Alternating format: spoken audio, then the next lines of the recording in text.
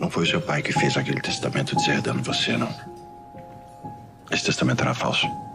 Ele é obra do Gaspar e da Gilda. Como assim?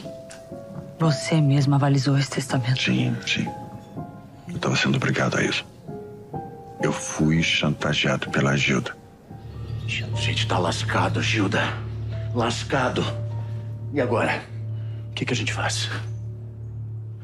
Aceita um chá? Mas, Você não pode estar nessa calma toda. O Érico entregou a gente, Gilda.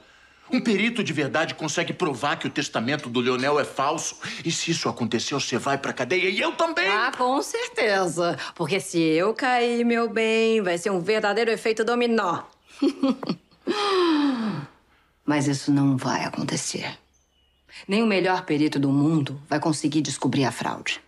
Eu nem acredito que faltam apenas algumas horinhas para Maria Elisa voltar para cadeia. E tudo vai voltar como era antes, como num passe de mágica. Eu volto a ser presidente do hotel e você, meu vice. A princesinha destronada vai ser apenas uma lembrança distante na minha vida.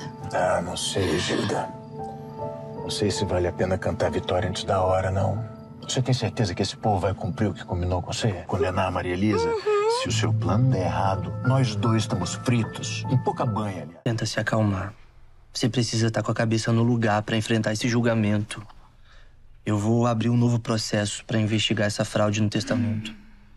A gente não tem mais tempo, Júlio.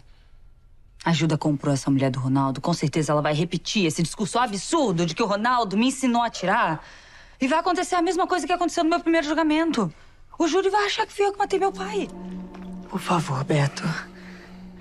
Eu te imploro. Você é artista, um homem sensível. É a minha vida que tá em jogo. Eu lamento, mas eu preciso pensar.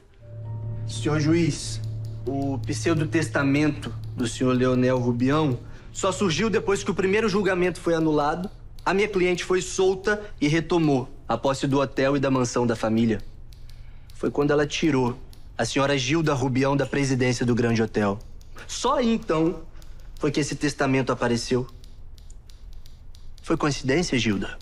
Ou a senhora tirou esse testamento da cartola para impedir que a minha cliente conseguisse reaver os bens e os direitos dela?